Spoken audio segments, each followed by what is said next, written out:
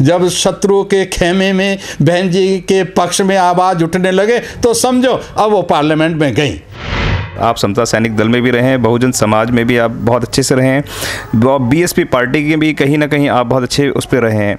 2019 के इलेक्शन बहुत नज़दीक हैं और बहुजन समाज के लोग बहन कुमारी मायावती को प्रधानमंत्री के रूप में देख देख देख रहे हैं। आप कहाँ देखते हैं बहन कुमारी मायावती को? देखिए बहन कुमारी मायावती की जहाँ तक बात है मेरी अपनी अटल मान्यता है कि इस देश में अगर वो प्रधानमंत्री बन जाती हैं तो इस देश की सबसे उत्कृष्ट प्रधानमंत्री सिद्ध होंगी। इसमें कोई दो राय नहीं है। अब ये 2019 आने वाला है। उससे पहले जो समाज में एक बिखराव है, एक विघटन है, अब आप आप देख रहे हैं ना, मैंने अभी भी एक बाइट में बताया कि सबसे बड़ी दुखद स्थिति यह हम दुर्भाग्य शब्द नहीं बोलते हैं। भाग्य सौभाग्य दुर्भाग्य।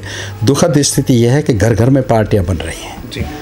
अब एक कोई पार्टी बनी बेकार से बेकार पार्टी भी जब बनी तो अपने घर के दो चार पाँच आठ दस पंद्रह बीस पच्चीस पैंतीस वोट तो काटेगा। बिल्कुल और इस डेमोक्रेसी में तो एक वोट पर ही जीतता हारता है। अटल बिहारी वाजपेयी की सरकार गिरी थी तो बीएसपी का एक वोट नहीं मिला था इसलिए वो गिर गई।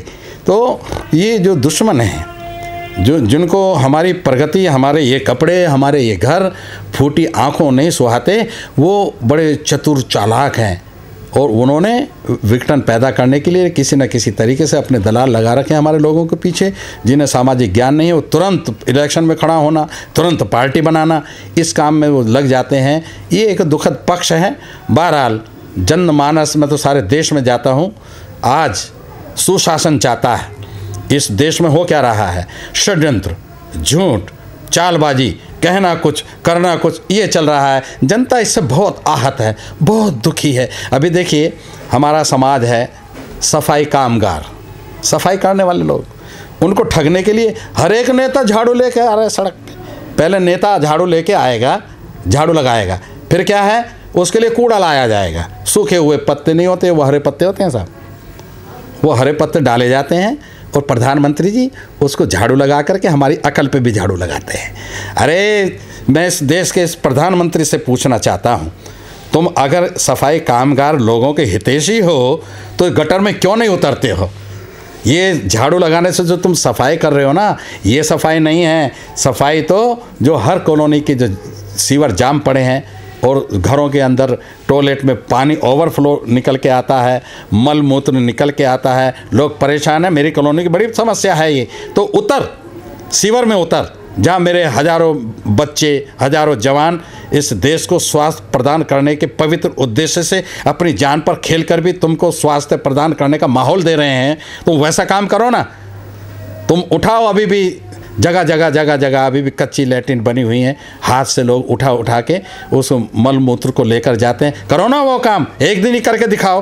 तो हम तुमको समझ लेंगे। तो आज इस देश में जितने षड्यंत्र या जितना झूठ बोला जा रहा है, हमारी एक सबसे बड़ी कमज़ोरी है हमारे आंदोलन की, कि चाहे वो बहन मायावती हों, चाहे बाबा साहब रहे हों, चाहे ज्योतिबा फूले रहे हों, चाहे काशीराम रहे हों, हम इनके छल छंद कपट का जवाब नहीं दे पाते।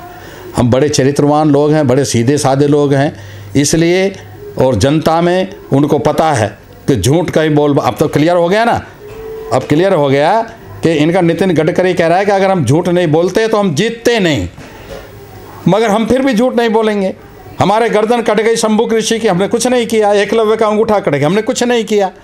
तो वो हम सीधे साधे सच्चे लोग हैं, मगर फिर भी एक बात ज़रूर है कि अंततः जीत सच्चाई की होती है, उस सिद्धांत में मेरा पूरा यकीन है, बहन मायावती जी, अगर इस देश के हित में अगर कोई सबसे बड़ा काम होगा, अगले साल तो वो ये होगा, वो इस देश की प्रधानमंत्री बने तो सारी समस्याओं से वो जूझना जानती हैं। जिस दिन भी मायावती, ये जो चवा, एक सौ चवालीस खम्भों की पार्लियामेंट है गोल घर भी कहते हैं, जिस दिन ये उसमें नीला झंडा लेके पहुँच गई तो साथियों, समझ लेना, अत्याचारी, बलात्कारी, भ्रष्टाचारी देश छोड़कर भाग जाएँगे। हमारे पासपोर्ट बनाने के ऑफिसों में भीड़ लग जाएगी, जो इनकी रैलियों में भीड़ लगती है ना मायावती की, वो भीड़ फिर पासपोर्ट ऑफ़िस पर होगी। मुझे लगता है बगैर पासपोर्ट के ये भाग जाएँगे। वो देश आने वाला है। बहन जी आ रही हैं, दमदार तरीके से आ रही हैं, पार्लियामेंट में आ रही हैं, प्रधानमंत्री के रूप में आ रही हैं, और सारे विरोधी बीजेपी के अंदर से भी अब तो बहन जी को पार्लियामेंट में भेजने की हिमायत होने लगी है। जब शत्रु के खेमे में बहन जी के पक्ष में आवाज़ उठने लगे तो समझो, अब वो पार्लियामेंट में गई। और पार्लियामेंट में गई तो देश प्रगति पथ पर दौड़ेगा और ऐसा दौड़ेगा जैसे जापान दौड़ रहा है, कोरिया दौड़ रहा है। तो ये मेरी अभिलाषा है, कामना है, मान्यता है कि बहन जी इस देश की समस्याओं को हल करेंगी और वो प्रधानमंत्री बन के ही हल करेंगे।